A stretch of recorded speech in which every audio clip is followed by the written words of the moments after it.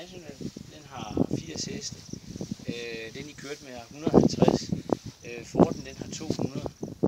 Så den er, den er pæn, øh, pæn stor. Til gengæld er den altid stød. Øh, for første gang har vi købt en kinesisk traktor.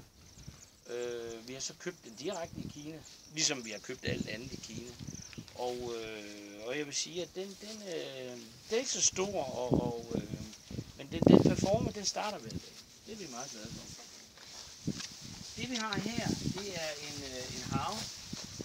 Og øh, havn, den bruger vi, når det er, vi har øh, pløjet, og vi har trumlet, og vi, øh, den bliver så spredt ud.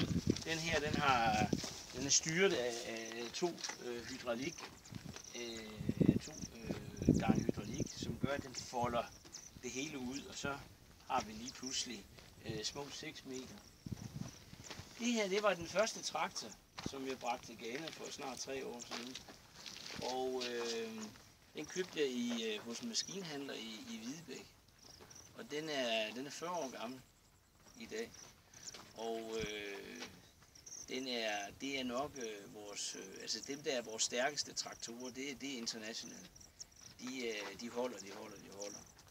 Øh, det, de, er, de er meget, meget pålidelige. Øh, det hele taget er vi øh, jo i et område, hvor man kan sige, det regner meget, øh, solen er kraftig, og det betyder, at øh, vi, har, vi har et stort behov for at have noget, der, der er driftssikkert. Jeg kan måske lige øh, indskyde med mærke, mens vi står her. I kan se på toppen af den der container, der ligger noget på taget. Og det er en, øh, det er en solfanger. Eller så det er, det er en solcelle, fordi at øh, vi bruger solenergi inde i, øh, i containeren. Så kan vi gå lidt videre her. Øh, her har vi en, øh, en øh, det var vores første rendegraver. Og øh, lige i øjeblikket er vi ved at øh, pakke den pakke. Øh, så det er derfor motoren er taget ud i den. Det er en dansk øh, hydrema. Og øh, den anden øh, trak, eller den anden rendegrav, vi har her, er også en, en dansk øh, hydrema øh, rendegrav. Og det, vi har selv gravet øh, vores kanaler hele vejen. De er øvrigt fyldt med, med store sten. Så, de, øh, så har vi en, øh, vores anden majtaske, som vi er punkteret. Vi vil reparere det.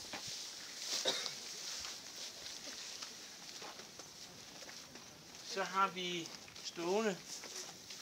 Øh, her kan I se resterne af vores pipeline. Vi har til en udvidelse Øh, af vores øh, eksisterende vandledning. Den kan udvides med, med 2 km mere. De to røde, der står der, det er, er rotary tiller. Og øh, det er øh, særligt velegnet til økologisk jordbrug.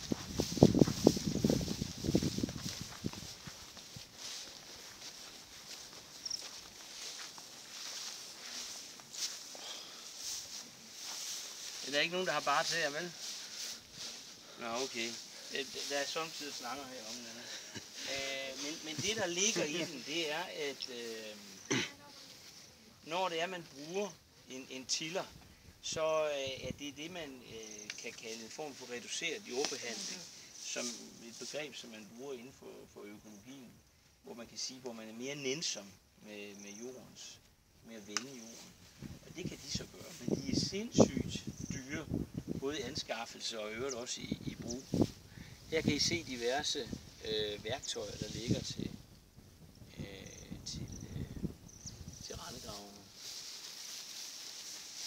Så har vi øh, en, et stor øh, ladning af øh, organisk øh, pitøj, som I kender fra øh, øh, til potteplanter, der ligger deromme. Og det har vi så øh, tilføjet, tilført til jorden, for at gøre den mere, øh, kan man sige, lækker at, øh, at ignorere med. Så har vi øh, en container her på den venstre hånd. Og den er vi ved at, at bygge op som en, øh, en slags øh, medarbejdercontainer.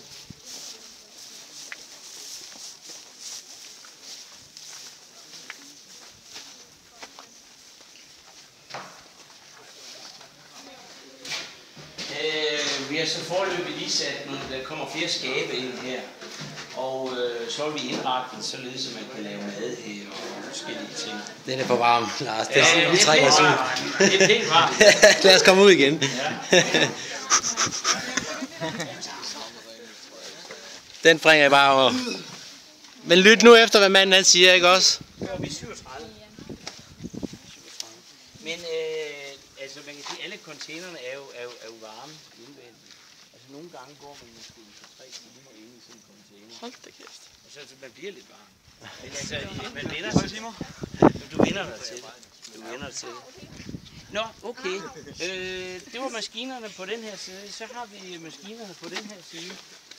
Øh, det her, det er pumper, vi bruger til at hente flodvandet op. Vi lytter. Øh, det her er en italiensk maskine, der hedder Seppi. Og øh, den er ikke så stor, men øh, bare sådan en lille maskine her, den koster næsten 300.000 kroner. Så den er pænt dyr. Men det er en meget, meget værdifuld maskine, fordi at øh, den kan man bruge til at, at rydde bus med. Så øh, den tager, den tager øh, buske op til den her højde. At bussen den kommer ind her. Og så øh, gør man simpelthen det, at, at man kører baglæns med traktor. Og hvis I går ind på vores hjemmeside, så kan I se nogle videoer. Jeg tror, vi har, vi har nok 50 videoer liggende på YouTube, som I kan underholde jer med. Og der kan I blandt andet se, hvordan vi bruger den her. Ja, de har en større version med pik, der stikker ud til at udrydde minefeltet. Okay, okay. Man kan sige her kæden under. ikke? Er der ikke kæder? Hvad er det så? Så Nej. jeg kan sige kæder på den her side. Jamen, det er ikke kæder. Uh, jo, det er kæder her, men, men det, det er til at beskytte. Det er sikkerhedsmæssigt foranstaltning. Nej, det er en, øh, der slagler. Der sidder slagler i den. Så, så den, den, er, Nå, så er det ikke det så. den er kørt på, på slaglebasis. Ja. Det her, det er en øh, gødningsspreder. Den kan, den kan sprede 400 kilo i, øh, på 10 minutter. Den er meget hurtigt. Det her, det er en øh, sprøjtemaskine. Og øh, det er en, en togsprøjte. Og det er, ja, det er første gang, at vi, sådan. Men øh, den er meget effektiv, fordi den, den virker på den måde, at vi ikke så skal... skal Vi kommer herover og lytter alle sammen, tak. så vi, vi behøver ikke rigtig ødelægge marken, når vi har sådan en, fordi den, den sprøjter. Den kan faktisk sprøjte op til 60 meter. Men, men det kan den så kun, hvis det er, det ikke blæser. Nu for eksempel sådan en dag som i dag, så blæser det ikke. Så derfor er det jo, er det jo, er det jo godt at bruge den, men vi har store problemer, når det er, det, det blæser. Vi, øh, den samlede investering her i farmen er på nuværende tidspunkt øh, lige knap 10 millioner. Så, så, så det er det, der, der, der er investeret i maskiner og i udvikling af det Altså danske. danske kroner. Altså, øhm, noget af det, der er meget væsentligt, vi prøver at følge med her, det er, at vi, øh, vi kan reparere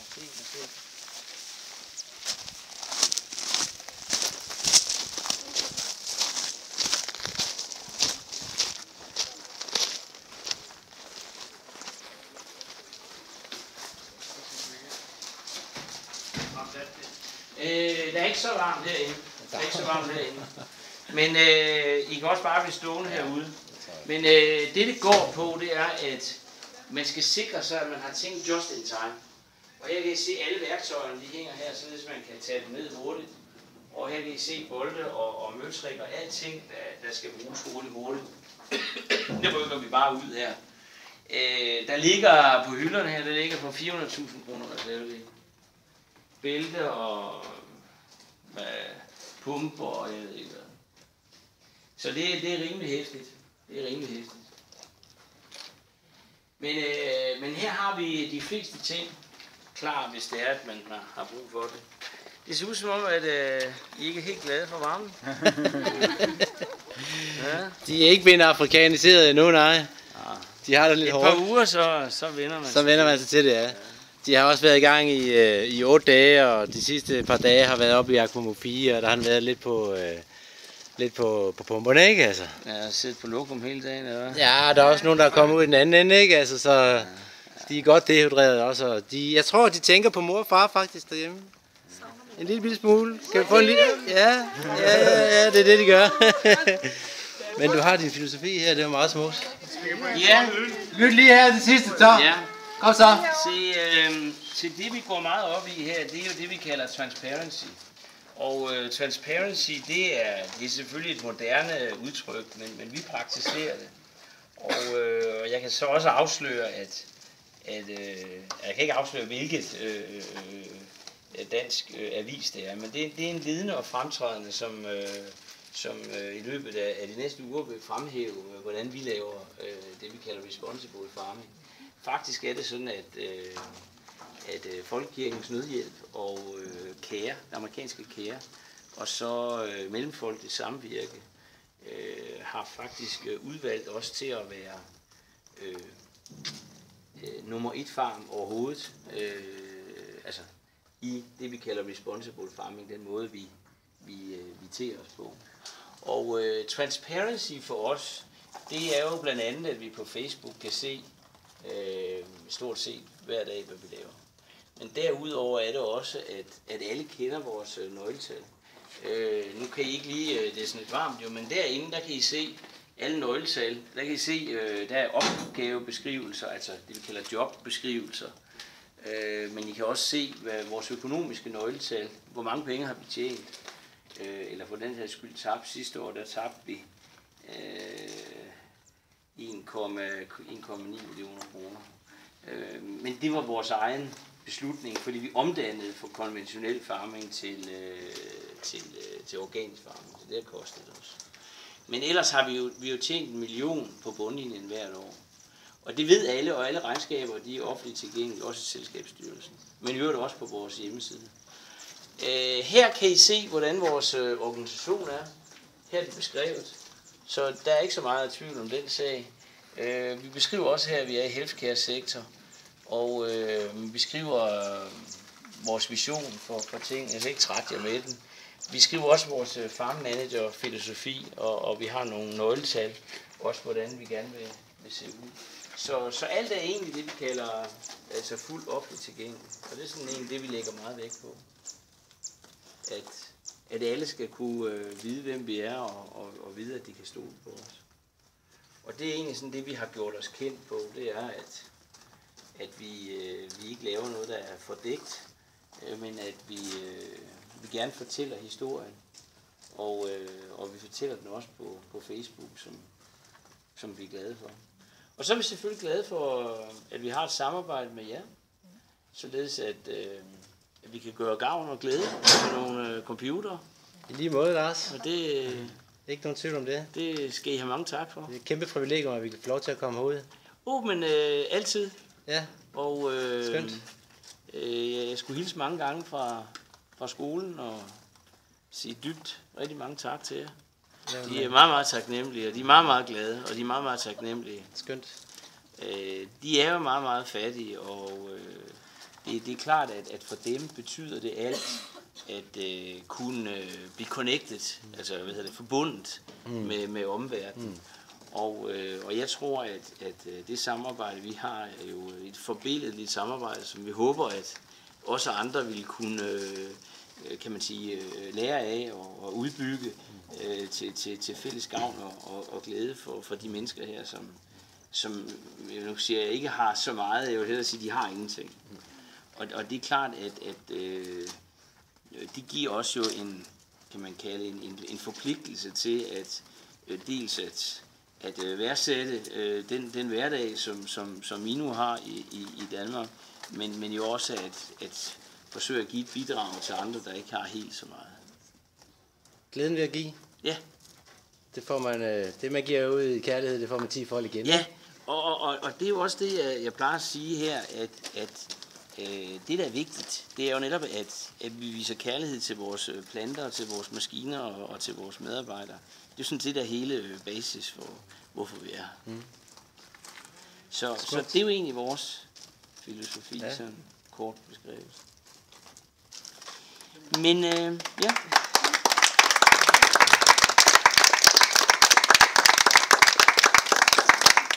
Jamen altså, man kan jo sige meget andet. Altså, Så det, det, det jeg egentlig godt har så lyst, også har lyst til at sige, er jo, at, øh, Se nu på, hvordan en mand øh, kan gøre en forskel, ikke? Selvfølgelig sammen med øh, en god stab og nogle man ikke gode, gode tænkere, nej, men alligevel, øh, en starter jo på det, ikke også? Ikke? Jo, jo. Altså, jo, det er rigtigt. og det er et øh, lysende forbillede. Øh, du er en held i mine øjne, det har jeg sagt. Oh, ja, Men øh, ja.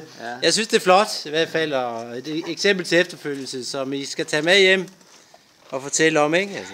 Altså nu kan I jo se, folk de går ned, jeg arbejder nede på, på marken.